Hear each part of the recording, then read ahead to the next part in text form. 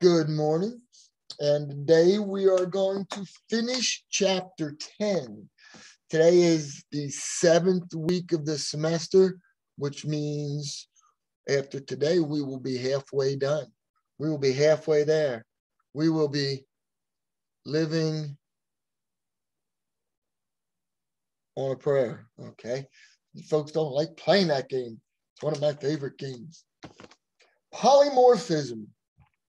Polymorphism is a buzzword. Whenever you talk about object oriented programming with somebody, uh, they they always seem to want to go, well, yeah, that's polymorphic and yada yada yada. And um, so if you know that, you, you're in in the talk, and if you understand what's going on, that's just great. But we all know poly means many. Poly means many. Uh, takes many shapes. Okay. So let's see if we can get this straight and I can explain it correctly the first time. So we can use something called polymorphism in object-oriented programming. And what it's saying is something can take the shape of something else. And in this case, what we have is a superclass reference variable. Now, let's talk about creating a reference variable. What you see here, I have a superclass called graded activity, and I'm creating a reference variable, calling it exam. Okay, so superclass's reference variable can reference objects of a subclass. So as I'm creating this, uh, you know, we've been doing graded activity exam equals new graded activity. And, and that process is to create a reference variable and then reference an object of type graded activity. Well, with polymorphism, we're going to let it take different forms and we're going to say, I have this reference variable called exam. But what I'm going to do is make it an object of the final exam class because it's a subclass. And that's the only, only direction I can go. Okay. All right. Okay. So let's see what we have. Before we would have written something like this, as I mentioned a little while ago, graded activity exam equals new graded activity. But because of polymorphism, we can say that the object is of type final exam and we can call its constructor, sending in, and if I remember final exam well enough, it was 50 questions, seven missed, and a bunch of things were, were gotten from there. So now I have a question. Yeah. So um, you're the subclass is more like a specified um, a specified program, something similar to like what we did with chapter eight. While superclass is kind of like the represents the general perspective or something like that. Yeah. Mm-hmm. Okay. Yeah, Just and wanted to make sure. As we go through the the next two sections in here, you're going to see a little bit more where that comes into play. But again, the graded activity is a superclass. Excuse me. And the final exam is going to be a subclass. And we know what's the what's the word that comes into play with a subclass? That it inherits everything from graded activity. And then we got into conversations about we can override a method in a parent class. And we're always overriding every time we do a toString because we're overriding from the super super class called object. We know there's a couple of things in object. We don't really need to delve into it. Um, so, yeah, go ahead. Yeah. Um, what's the benefit of making the reference variable like um, fi- a final exam reference variable opposed to just regular inheritance? Good question. Good question. Haven't found a use for it yet. Nope. Okay. But what it's and, and that this could be uh, something that you do as a in your third year or a fourth year class. But I, I haven't, don't have a vision of why we're actually using it. Oh, okay, thank you. Yep. So polymorphism does exist. And, you know, again, I have the phrase here polymorphism is the ability to take many forms. So this reference variable exam can create a reference variable exam, can reference a final exam object. All right, so exams got some craziness going on. Now, what do we know about exam? Um, what do we have? One thing is exam can only use methods of graded activity. Exam can only use methods of graded activity, and graded activity was in fact the superclass. That's a big one. You know, that's kind of important. It can only use of the superclass. Now, well, what, I can only use those, but I can also use the constructor here and possibly be able to call my super constructor. And I know hopefully that some of you are plugging right along with our next assignment because we talked about using super and a couple of different things and um, that chain of inheritance. One person's done. I think you have till what Thursday to get it done. Oh yeah, Japheth Sagan said yes. Okay, so let's take a look at a couple more examples. Um, I have graded activity. It's a super class, exam one, uh, final exam. Yep, because I can I can do polymorphism. Over here's the FE for final exam. I have to keep writing these abbreviated UML charts down so I can see who's the parent and and so forth. Um, exam two, again, the parent, the subclass. The parent, the subclass. Even though the subclass is down in chains of inheritance. So polymorphism. Now. Okay, sorry, but you said it doesn't go the other way, right? It does not go the other way. That is correct. Okay. So, but could yeah, I'm sorry. If there were th- if there are three in the chain, could the third one be of the type of either of the first two? That's correct. Okay, thanks. That is correct. So so this is basically like an extended a massive extended version of classes from chapter 6 in some way. Yes. Yes, and it's all object oriented programming. So a lot of what we talk about from here on out is is just going to keep revolving around creating classes and working with objects. Okay, I'm yeah, I'm kind of getting a grasp of it. Right, good. So other things going on with polymorphism. A, a little while ago, I mentioned that we had overloading, we had overriding. Overloading was same name, different signatures. Overriding was when I had a method in the superclass and a method in the subclass. Not only did they have the same name, but they had the same signature, same parameter list. So if I got ready and I ran something, which of those would it use? Because because a moment ago I just said if I have a subclass, it would use the superclass methods right here. Exam, oh, you can't see it. Exam, still can't see it. Exam can only use methods of graded activity because it is a reference variable of that type. But Java says, well, we have this thing called dynamic binding, and sometimes you're going to hear the term late binding. And if they both have you know, the same thing going on where it's overwritten, we have a problem. And what binding will do is um, binding is matching a method with the correct method definition.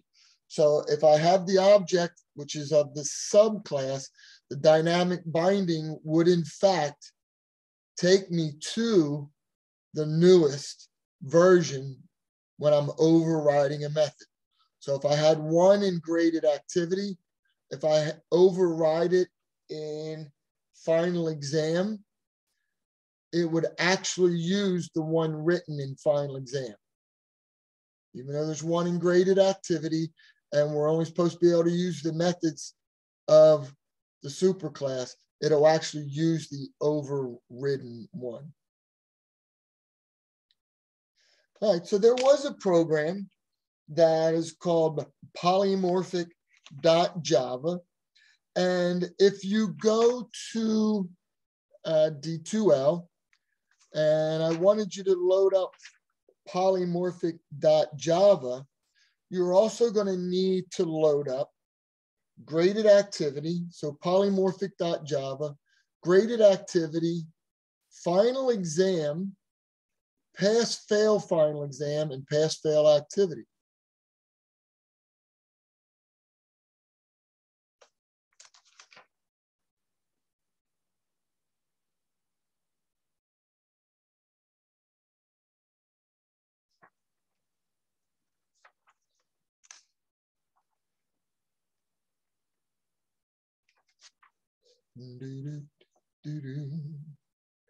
And I have Could you uh, repeat that one more time? go to D2L. You're going to see a bunch of files that I want you to download. Oh yeah, yeah, I'm at the files. One of them, is polymorphic.java. Okay, you got that one. Yeah, you're going to need graded activity. You're going to need pass fail exam. Or pass, yeah, and final exam. Um, I'm not seeing pass fail on D2L. I just see final exam. Uh, ba- da- ba- da- ba- All right, let me pause.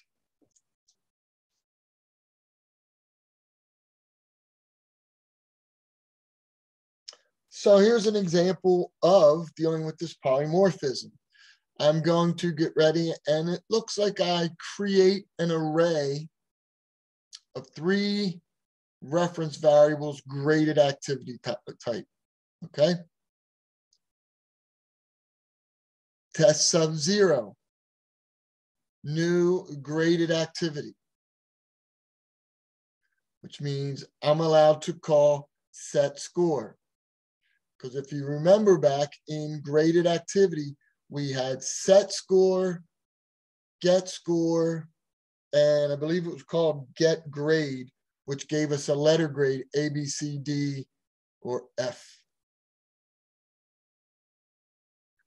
And again, graded activity, we, we're, we're, okay with that, right? Pass fail exam. Now the whole polymorphism starts to come in. So test one is this. I call its constructor, sends what it needs to up to the super.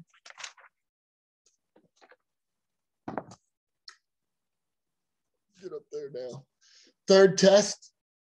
This time it's the subclass final exam that's being called. And as you can see, I'm going to go through and I'm going to test whatever it was, one, two, or three. The word score. I'm using get score.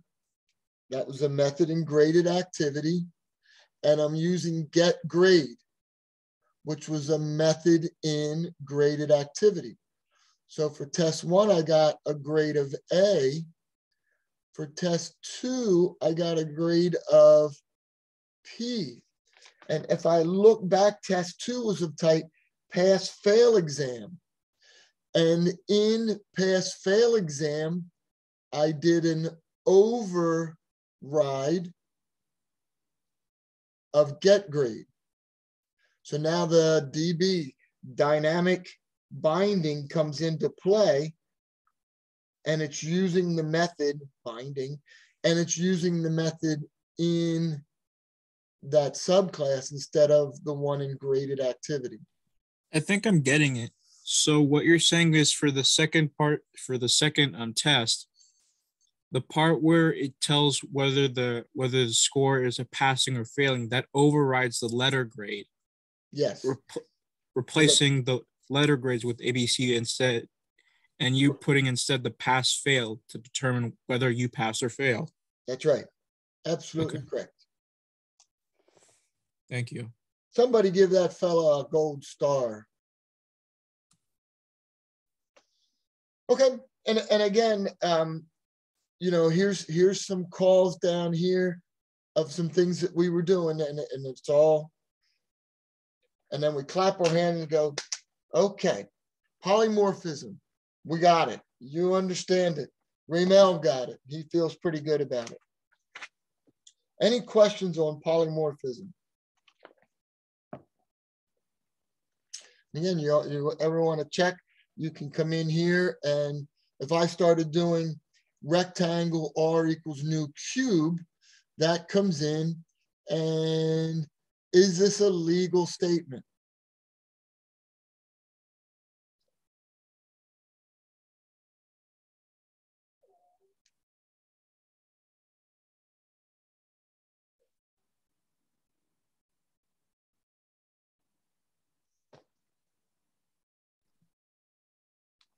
Uh, Letter A, is that a legal statement?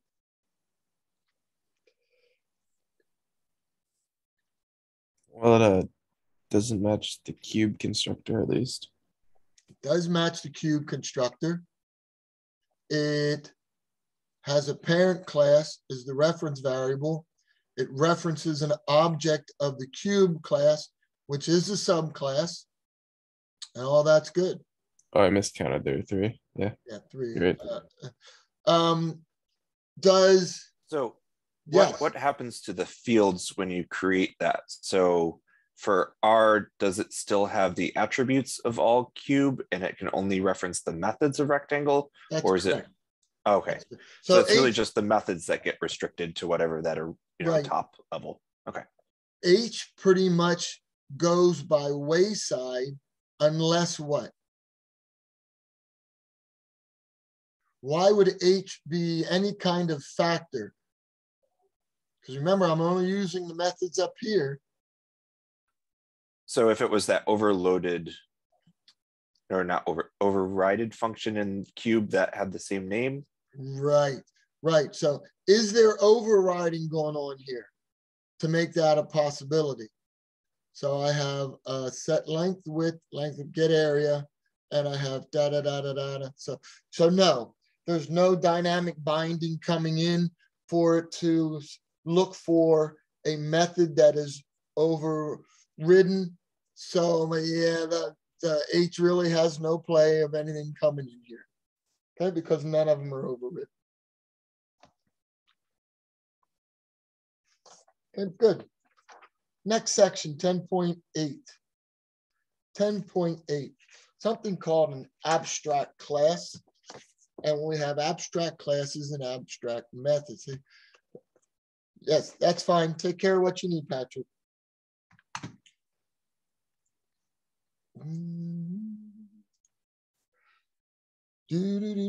An abstract is, so I'm now going to create some goofy classes. I'm going to start with 10.8 and have one in 10.9. And sometimes you need to be the boss and you need to lay out rules for how some things are going to be written. And those some things are going to be your subclasses. And you may want to dictate because this is probably going to be a group project of eight people. And we want to make sure things aren't helter skelter.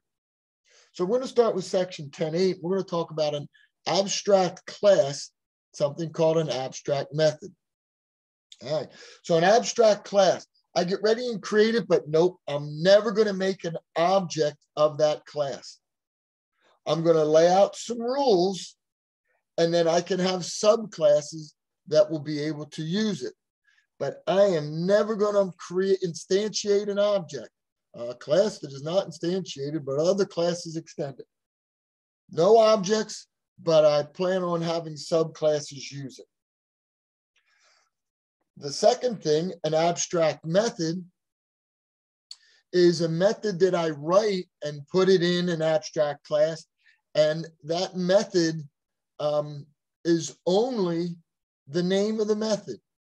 So that when the subclass is created, that method has to be overridden.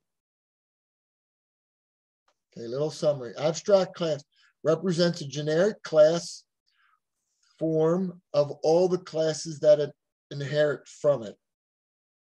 So I'm putting some stuff there, and then I'm going to tell Darren to go write this, and Raymel to go write that, and Adam to go write this. But you're going to use this class, and you're going to create subclasses to come off of that. I also want to make sure everybody has a method called a certain thing. So I'm going to make it an abstract method. I'm going to put it in my abstract class so that I make sure you all have one of those in your subclass that you're creating. Okay, let's take a look at an example of that. Um, there's code listings on D2L for 10, section 10.8. I want you to load up student, ComSci student, ComSci student demo.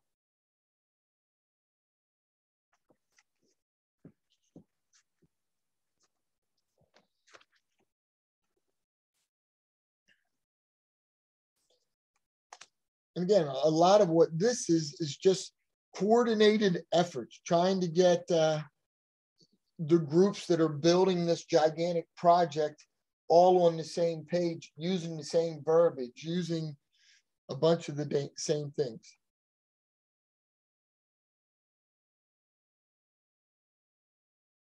Mm. Give you a couple seconds to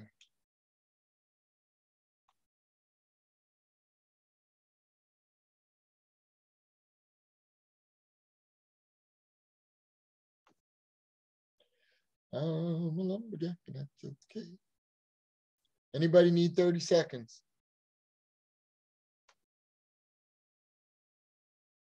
Through the use of magic markers, you can see that I have public abstract class student. So this is how I create an abstract class with the word abstract. Some things that I have in here, name, ID number, year admitted. Name, ID number, and year admitted. So this may have something to do with uh, students and their majors, but these are things that I want to make sure are labeled as name, ID, number, year admitted, uh, string is string and integer. want to make sure all of that's set. So I'm dictating this in my abstract class, that we have those things and they are available. Do, do, do, uh, let's see, the next thing, the class is called student. I'm able to have a constructor. I'm able to smear the red. I'm able to have a constructor. The three things I'm bringing in, name, ID number, and year. You notice I also have a toString. So this part, I've, I've written this so when you extend this and write whatever your task is, a bunch of this is already done and you can go and just add on to it, extend it. Finally, in my abstract class, I have an abstract method. That means in your subclass, you're going to have to include an abstract method called get remaining hours, and it's going to return an integer value. Uh, let's see, it must be overwritten in a subclass, and it must return the remaining for the student, the hours remaining. All right, that kind of just says what I was talking about. Let's see it in some action. And I, again, I gave this to you in D2L. Here we go again. So we're back to extending student, superclass, subclass relationship. I have some constant variables. I never use many constant variables. Some of you do once in a while. Again, that's one of those where I don't want to go through the code and make changes. I want to make changes up front and it's done. Well, one of you was chosen to write computer science student. And it's really kind of funny to me that all comp sci people say comp sci and the author of our book puts comp Sigh. Hmm. Oh well, anyhow, some more variables become included. Remember before we had um, name, ID, and year admitted. Let's see, math hours, you need 20 hours of math, 40 credits of computer science, 60 credits of gen eds. Sounds about right. The magic number is 120. Except I think when I had my com sci degree, it was 126 for some reason. A lot of gen eds. That is a lot of gen eds. Good Well, degree gen eds. well, start thinking about your math courses. You know, there's 20. Where does com sci usually start counting? Not till calc. So calc one, calc two, calc three, uh, lots of com sci courses. That's 10 credits each of the four years. I don't know. Let's see what's going on. I have, oh, nice. This is my subclass, computer science student. If I instantiate it, I'm instantiating it here with just the name, the ID, and the year. And this constructor's written, calling the superclass right away.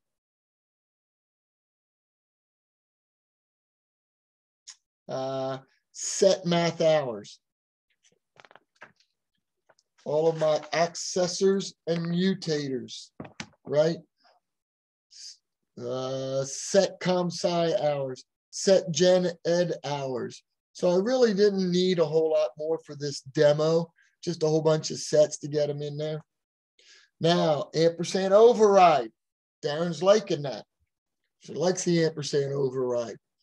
This is the method that I had to override from that parent class, super class, base class. They all different names for the same thing. I come in and let's see, I have a variable called required hours, remaining hours. I do some da da da da da da da da. Can I ask a question? Yes. I wanted to make sure I understood this was from before when you were talking about polymorphism. Yes. When we have two different classes that have the same method, um, did you say that? Did you say that it it accesses the method uh, that's linked to the the class type that you named, like graded activity, even if you named it as a new final exam? Which Well- method does it access? graded activity was the parent, the super Yeah. class. And final exam was the subclass. Late binding will take the override and use the subclass. Okay. Okay. remember- Even if you even if it's of a graded activity type. Yes, and that Okay. goes back to, we had this conversation Right. about the A, and this was the, the method in the subclass, not in the superclass. Okay. Thank you. Mhm. Mhm. Okay, get remaining hours. It adds up the hours from those three classes that hopefully were inputted by the user. That's, uh, you know, we got the required hours minus the hours, I'm sorry, here they're inputted by, to return how many hours are left. We add the toString.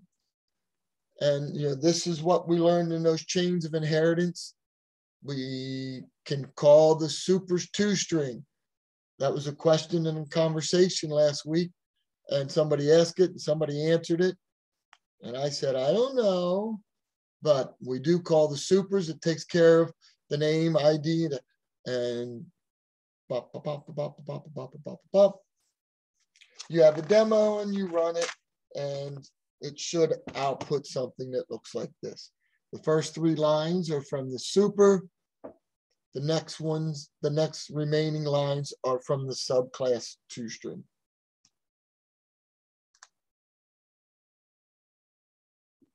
Any questions?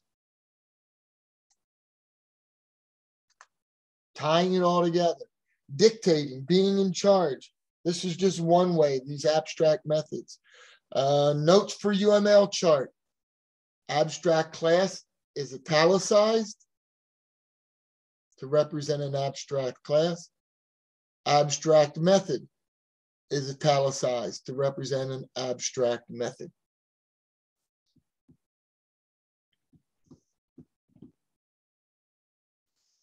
I like the book, still like the book. Always have. Okay. 10.9. Yay, 10.9. I have, oh, there it is. Oop, there it is. Interfaces. So this is going to be another relationship amongst classes, but not necessarily super class to subclass, parent class to child class. This is going to be another relationship where I'm going to write a class called an interface, okay? And you're going to see how this interface works a little different. The interface is going to say, this is what I want in the subclass. So you have to, you're, you're required to override all of these things. Okay. It's like an abstract class, can't be instantiated. We know that. And methods must be written.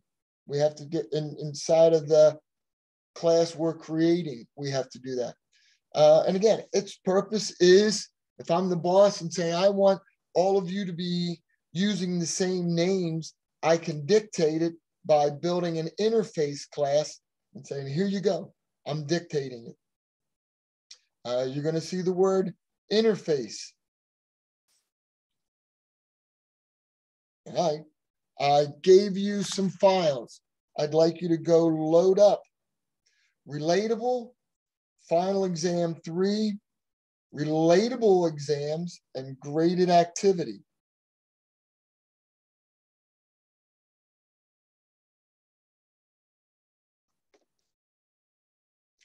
I kind of tried to make that as easy as could be so you know which ones to load up.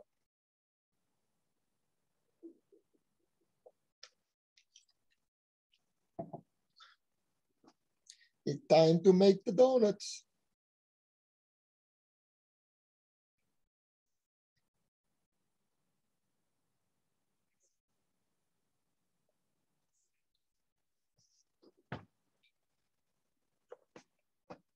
Okay, interesting term here. An interface is a contract. You're going to enter a contract and you're going to agree to everything in the contract. So here is the interface I'm creating. It's called Relatable. Moment ago, we had the word abstract here. Now we have the word interface here. It's going to be an interface when I say you must implement your interface, implement, you'll see that in a second.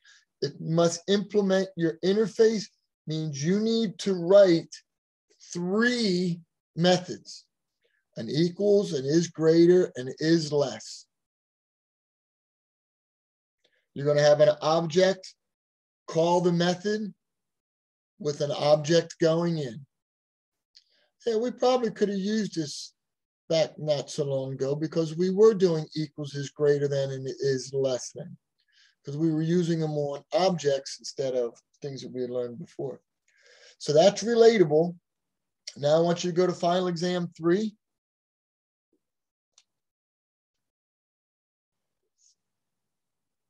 In final exam three, public class, final exam three, extends graded activity. So that means I am inheriting all of that stuff from graded activity, set score, get score, get grade. But I'm also implementing relatable, which means I'm going to have to write three methods. Okay, what do we got here? We have uh, ints and a double and another int. And oh boy, I come over and I'm scrolling down through line 18. That's just a constructor. I'm okay with final exam three, doing all of the constructor work. Da, da, da, da, da, da. Here is a method called get points each, get num missed. We're okay with all that. And now I start to get into, I have to create three of them because that's from my interface. When I said implements relatable, that means I need a Boolean equals.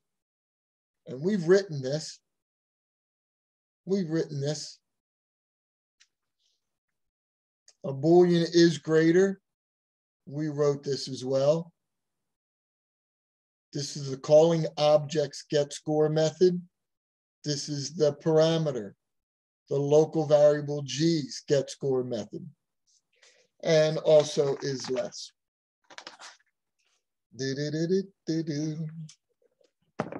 And there was a demo relatable exams. You could pull that up and run it and find out if it's equal, if it's less than, if it's greater than, you know, because it calls those methods right here. An object passing an object, but an object calling a method with an argument that's an object. What if I wanted to do multiple ones? I can. I can just separate them by a comma. Can have lots of good interfaces. And last but not least, what does it look like?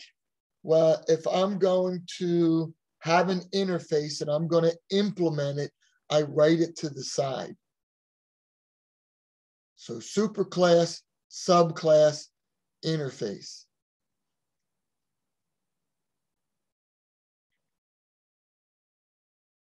Remember, an abstract class was up above, coming down.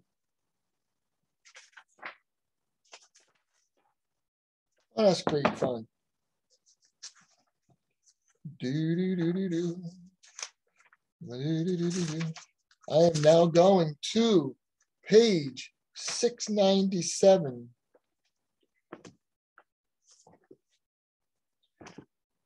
Six ninety seven, number four called essay class. Number five is called course grades. If you jump to D2L, uh, a new announcement was put out at 1030. I give you some files. I think I give you an essay class. Is that correct?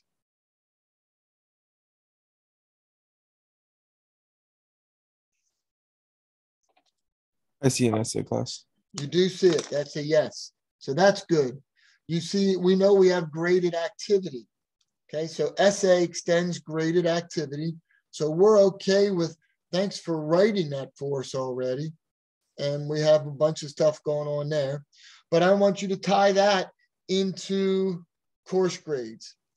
In a course, a teacher gives the following tests and assignments. Lab activity, a pass-fail exam, an essay, and a final exam. Well, we have a bunch of those already, don't we? Uh, write a class name, course grades. The class should have graded activity array named um, da da da. should have four elements. One element for each assignment previously described. Chapum, chapum, chapum, and chapum. Okay. One of the things I would start with a lab activity that is observed by the teacher and assigned a numeric score, a pass-fail exam that has 10 questions, minimum passing score is 70, an essay, assigned numeric score, a final exam that is assigned that has 50 questions. Set pass fail, set lab, set essay, set final exam, and a toString that goes along with it. And as we know, we have a bunch of these already written. Did I give you one for lab?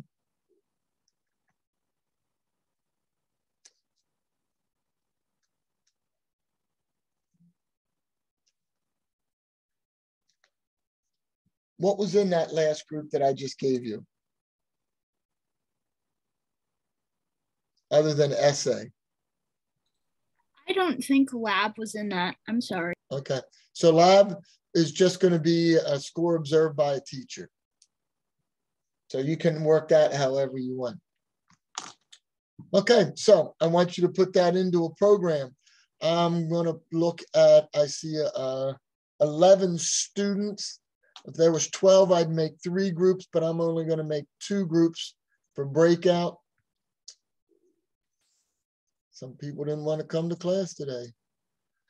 And I'm going to have you put this together. If there aren't any questions, I'm going to open it up. Next week will be week eight, and we will be starting chapter 11. Some of you from 162 are already good with exceptions, but we're going to look at them a little differently. So, any questions at all? All righty.